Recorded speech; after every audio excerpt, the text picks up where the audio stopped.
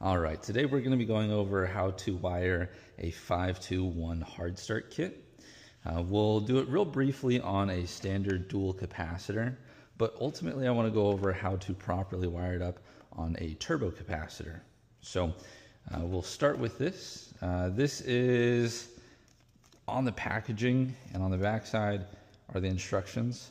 Extremely simple. So we have a dual capacitor, so we're going to look at the right hand side the dual run capacitor.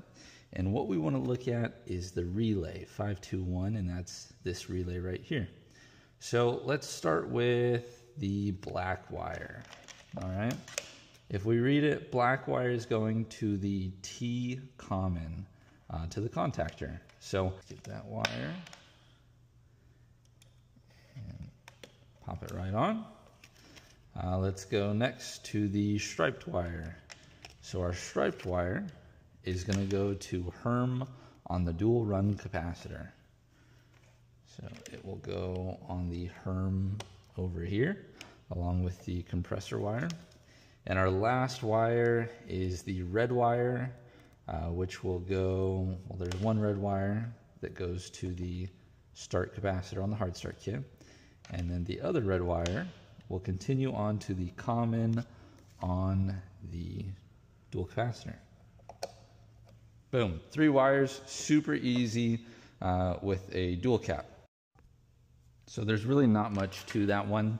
Uh, what we're gonna do from here is we'll take the dual capacitor uh, out, put a turbo cap in its place and rewire it and see how we wire it up.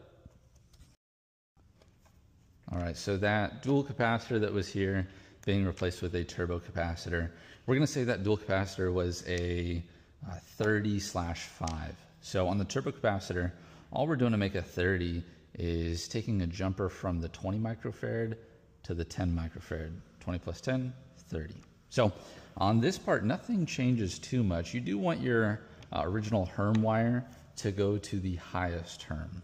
So that's going to be your 20, of course. Your red common coming from the contactor is going to go to the center. And your fan wire is going to go uh, to 5, like it was. Perfect. So now for the hard start kit. Let's do this over again. So black wire, that one's not changing. That's going to your contactor. So next we're to do our striped wire, which is still to go to the highest Herm. So these two wires are going to be the ones that mix people up. Your last wire is going to be the red wire. And normally on the dual capacitor, it's going to go to your common. Uh, but a turbo capacitor has a CPT, uh, compressor protection terminal, and that's where your red wire is going to go. So on a standard dual capacitor, say your Herm side fails, your turbo, or your, not your turbo, I'm sorry, your hard start kit will still start that compressor up and allow it to run and it's going to run really really harsh. So really inefficient your amps are going to be really high and that's going to tear down the compressor.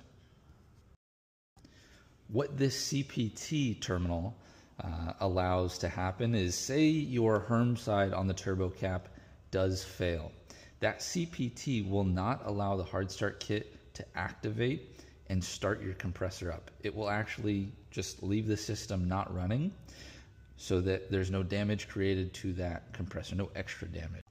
A lot of people will get uh, this terminal confused, and what they'll do is they'll take their striped wire and go to CPT, and the red wire and go to common, and this just won't do anything.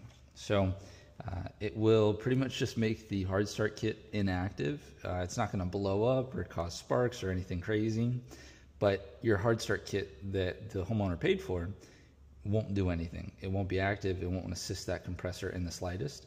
So it's just like it's sitting there doing nothing. So that is how to successfully wire up a hard start kit to a turbo capacitor.